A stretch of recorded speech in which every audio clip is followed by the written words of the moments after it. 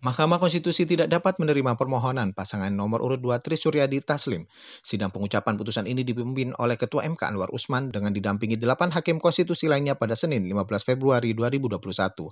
Dalam pertimbangan hukum yang dibacakan oleh Hakim Konstitusi Wahiduddin Adams, Mahkamah Konstitusi mengatakan bahwa hasil penghitungan suara pemilihan Bupati dan Wakil Bupati Padang Pariaman ditetapkan oleh KPU Kabupaten Padang Pariaman pada tanggal 16 Desember 2020 pukul 02.49 dan sesuai dengan fakta hukum yang diperoleh pada persidangan dan penetapan Penetapan tersebut telah diumumkan melalui laman KPU strip padang pariaman.kpu.go.id pada 16 Desember 2020 pukul 08.28 waktu Indonesia bagian Barat. Akan tetapi, pemohon baru mengajukan permohonannya pada Senin 21 Desember 2020 pukul 16.01 waktu Indonesia bagian Barat, sehingga permohonan pemohon yang diajukan telah melewati tenggang waktu.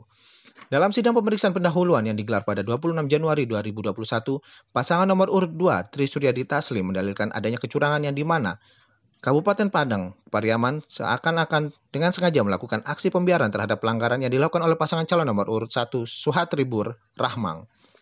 Selain itu, pasangan calon nomor urut 1 merupakan petahana, telah menggunakan fasilitas negara untuk tujuan kepentingan politiknya dengan menggunakan dana yang berasal dari dana alokasi khusus yang terdapat dalam APBD Kabupaten Padang Pariaman.